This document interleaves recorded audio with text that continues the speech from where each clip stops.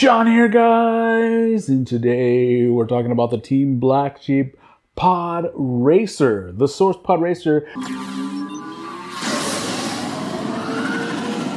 The Open Source rear camera mounted 5 inch ultralight racing frames that comes in at only 56 grams. And I have come up with a special formula for you guys that all uh, that dry weight comes into 161 grams. And this thing gave me eight minutes of flight time doing some freestyle flight maneuvers, lots of punches and power loops included. So the ticket to this build has been the really interesting Beta FPV 1805 2550 kV motors on 5 inch. I was able to achieve that 8 minutes of freestyle flight with a tiny 850 milliamp 4S pack. That's right, a tiny little pack that I would fly on a 2.5 inch got me eight minutes of flight. And on two and a half inch, I might only get three minutes of flight. So what is the unnaturally long life that is in this thing? Well, let's go over the build very, very quickly. I'm using the JHEMCU, the JHEMCU 30 amp ESC flight controller stack, or not really, it's a toothpick board all in one in there. I'm using the nameless uh, VTX that goes up to 400 milliwatts. I'm using the Runcam Nano Phoenix camera. That is a really cool camera that uh, I'll have uh, more notes on on the channel very soon. This uh, UXII micro antenna kind of right here at the back. Crossfire Nano, of course.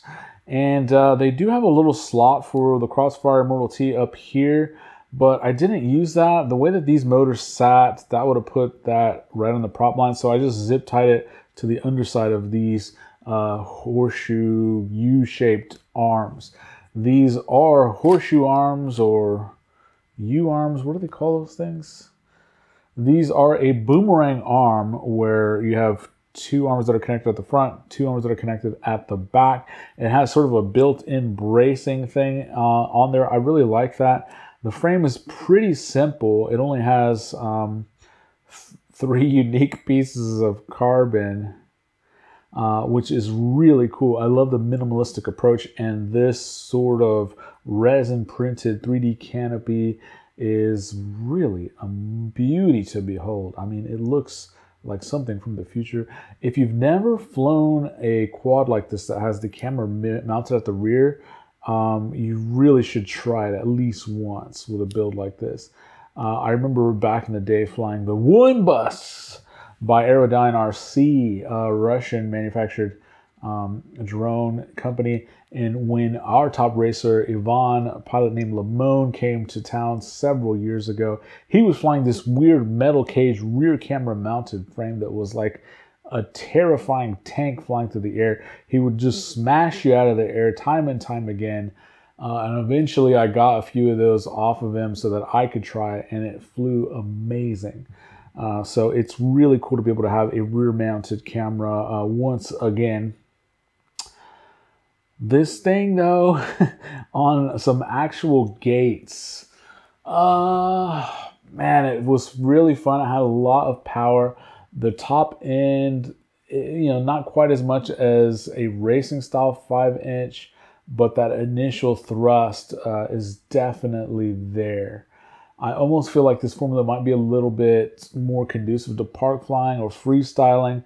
Um, because of its super light weight, I actually had a little bit of a hard time keeping it nose down in the turns. And what I mean by that is you go in full throttle, full throttle, full throttle, you kind of let off the throttle a little bit to do a sharp turn.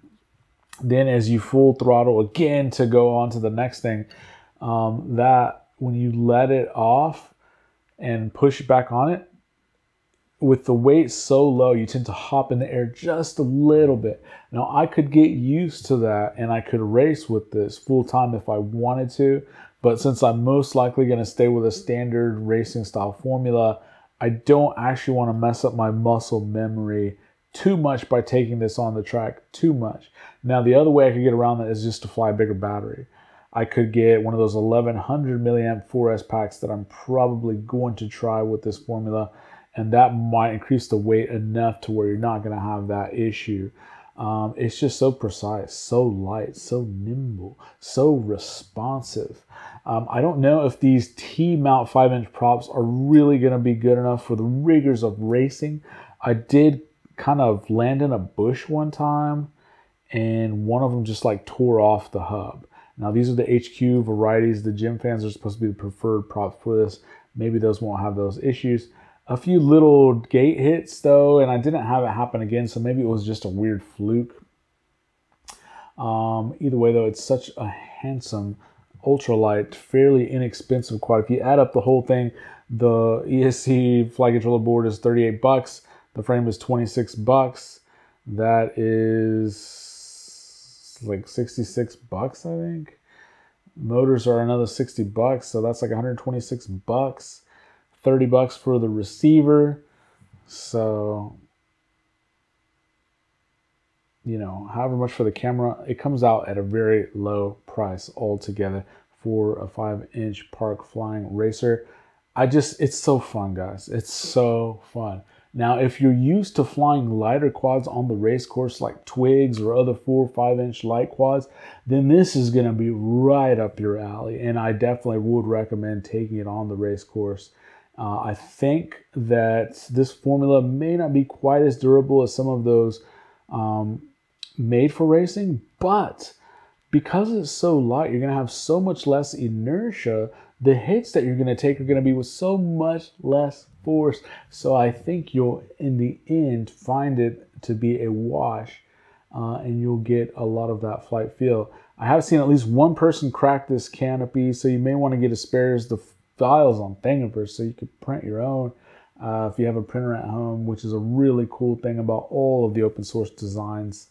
Uh, I was considering designing my own freestyle version of this that will utilize these same uh, boomerang arms. I don't know if I'm going to end up doing that or not, but let me know in the comments if anybody's interested in that.